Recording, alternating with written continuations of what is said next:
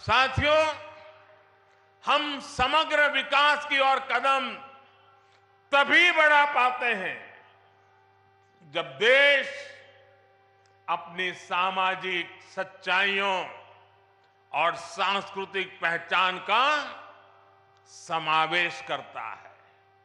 इसलिए आज हमारे तीर्थों का विकास भी हो रहा है और भारत आधुनिक इंफ्रास्ट्रक्चर में नए रिकॉर्ड भी बना रहा है। आज देश में विकास की रफ्तार क्या है? इसकी झलक आपको अकेला बनारस ही दिखा देता है। काशी विश्वनाथ धाम, ये परिसर का निर्माण हुए, पिछले सप्ताह ही दो साल पूरे हुए हैं। इसके बाद से बनारस में रोज़गार और व्यापार कारोबार एक नई तेज़ी पकड़ चुका है। पहले एयरपोर्ट पर पहुँचते ही चिंता होने लगती थी कि शहर तक कैसे पहुँचेंगे। टूटी सड़कें, हर और अव्यवस्था, यही बनारस की पहचान थी। लेकिन अब बनारस का मतलब है विकास।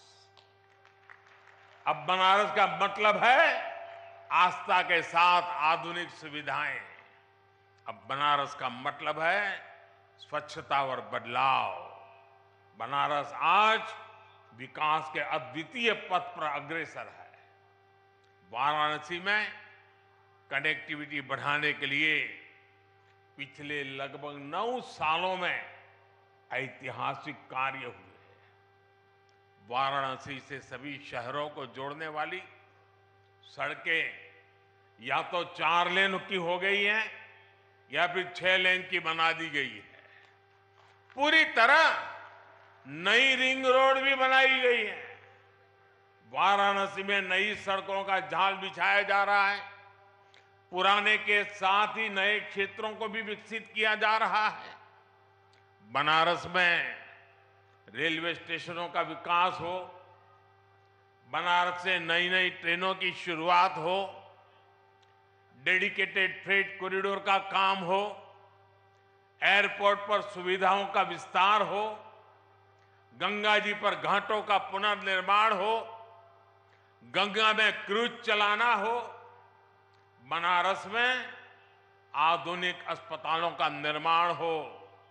नई और आधुनिक डेयरी की स्थापना हो। गंगा किनारे किसानों को प्राकृतिक खेती के लिए मदद हो। हमारी सरकार यहाँ के विकास में कोई कोर कसर बाकी नहीं छोड़ रही। बनारस के युवाओं के कौशल विकास के लिए यहाँ ट्रेनिंग संस्थान भी खोले गए सांसद रोज़गार मेले के माध्यम से भी हज़ारों युवाओं को रोज़गार मिला है। भाई और बहनों, इस आधुनिक विकास का ज़िक्र मैं यहाँ इसलिए कर रहा हूँ क्योंकि हमारी आध्यात्मिक यात्राओं में सबसे बड़ी परेशानी इंफ्रास्ट्रक्चर के अभाव की भी होती है।